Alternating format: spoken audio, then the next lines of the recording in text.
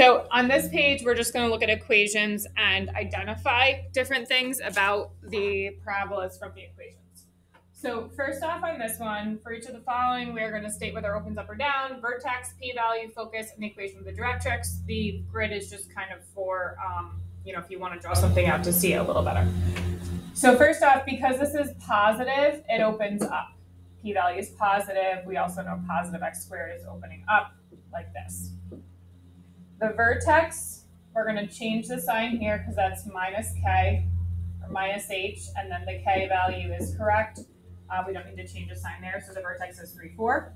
Um, the p-value, 12 equals 4p, so p equals 3, because we know this part of the equation equals 4p.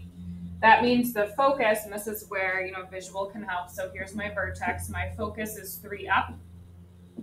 So my focus is going to be 3, 7. If my focus is 3 up, my directrix is 3 down. So that is y equals 1. Um, looking at the next one, this is the first one where we're not really in a nice format. Now, knowing that I'm aiming for this type of equation so that I can read it properly, okay, I'm actually going to, I could distribute this negative 8, but I'm actually going to divide by negative 8, and that's going to move into the spot where my p-value is. So this is going to cancel on the side. I get y minus 8. I'm going to take and make a fraction here. So I have 1 over negative 8 x plus 7 squared. And then the next part is easy. That's kind of the weird part. Then we can move the 8 over. So sometimes in algebra, right, we pick the method that's going to give us what we want, or kind of always in algebra, right? We're, we're in control. We pick the method that's going to give us what we want, and now we have it in the format we want. So this is negative. So we have that it opens down. Our vertex, change the x sign, keep the y sign the same. And hopefully that you recognize that that's just like um, our shifts, right? So if I do plus 7, we're going to shift left 7, which is a negative 7 plus 8 will move it up 8, which is a positive 8. Um, so the p-value here, we have 4p equals negative 8. So p equals negative 2. Drawing this in, my vertex is negative 7, 8. Okay. My p-value is negative 2. So my focal point is negative 7, 6. And the equation of my directrix is going to be up 2 from the vertex. So that's y equals 10. So now we're going to look at the actual Regents questions that have been um, asked on this topic. Um, so basically, I tried to cut every Regents question that was on focus and directrix, except for the ones in the recent Regents that we're doing in class. Um, so then you can still have those be new when you get to them. So this says which equation represents the set of points equidistant from line L and point R shown on the graph below. So when they say this, they didn't tell me what these things are, but if I'm looking for all points equidistant from a point and a line, I know that that's the focus and the directrix.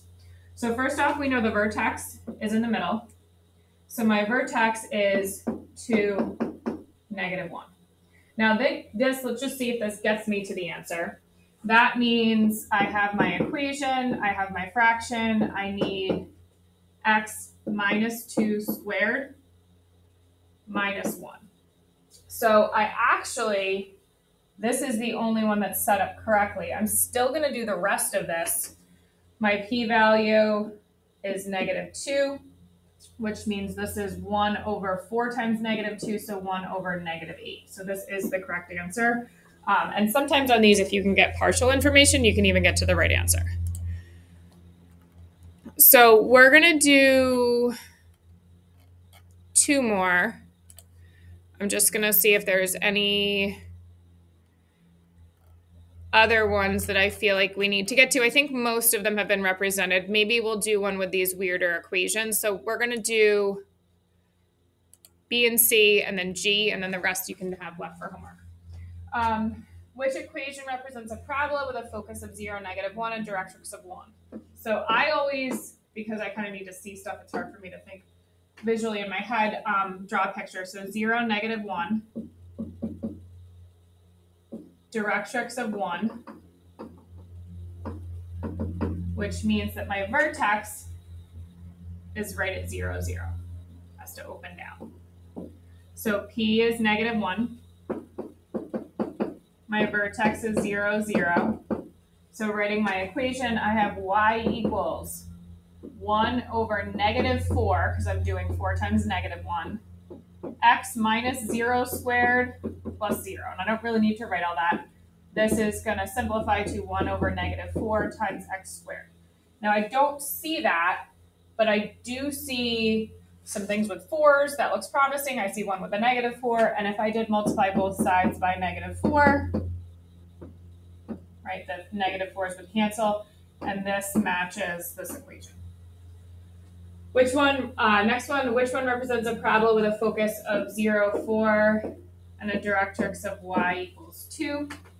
So here I have 0, 4, and y equals 2,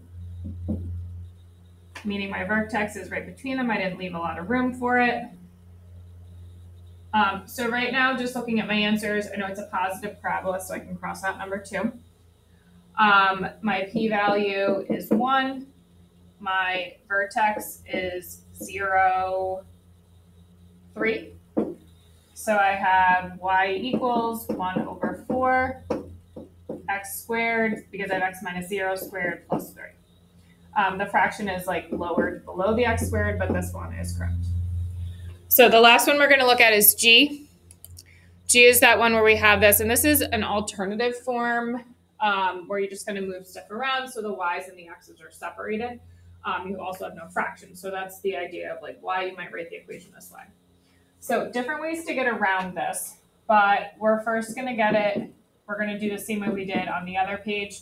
We're going to solve for y by dividing first. I'm going to bring and create the fraction in the front so I can read it better and move my 3 over. So I'm going to add 3 to both sides of the equation.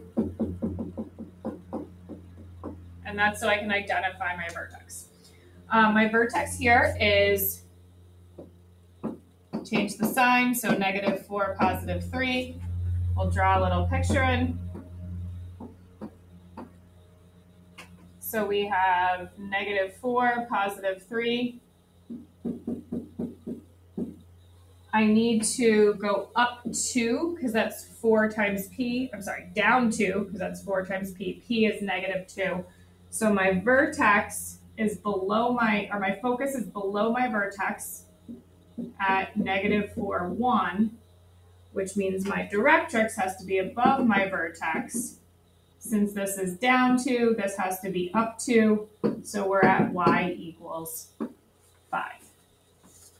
So I really find the little pictures helpful. You're not required to draw them, but I just think it doesn't take that long and it really lets you see and make sure everything's in the correct location.